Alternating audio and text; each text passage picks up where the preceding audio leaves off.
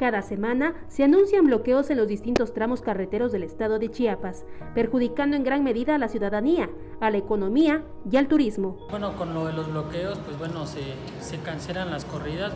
Nuestro, nuestra corrida es de aquí de San Cristóbal a Comitán y pues bueno, no, no sale ningún carro, por, por lo mismo pues no hay este no sale el sueldo para los trabajadores y pues el mantenimiento de los carros. Pues eso mismo también este, afecta las actividades para los pasajeros, porque pues ya no nos, ya no nos permiten viajar. Y Castillo Velázquez asegura que cuando es posible cruzar alguno de los bloqueos es bajo las condiciones de los manifestantes, pues dependiendo la causa, deciden hacer el famoso boteo para que den paso a algunas unidades y así transiten. Pues no, no entra casi nada de ingresos de, no sé, de 18 carros que salen tal vez al, al día, solo salen unos 3 o 4 más o menos.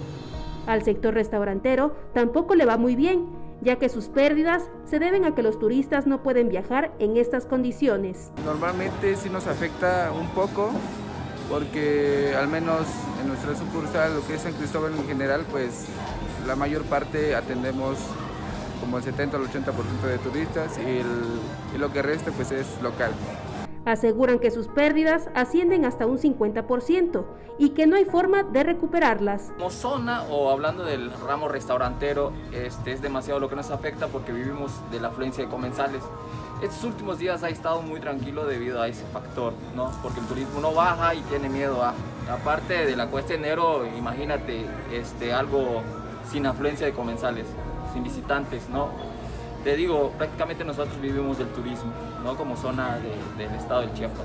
Por lo que solicitan el apoyo de las autoridades para atender las demandas de los grupos inconformes y así no perjudicar más a la economía de Chiapas. Bueno, que vieran la forma como que de, de darle solución. Bueno, los bloqueos se hacen porque son peticiones que no que el gobierno no cumple, ¿no?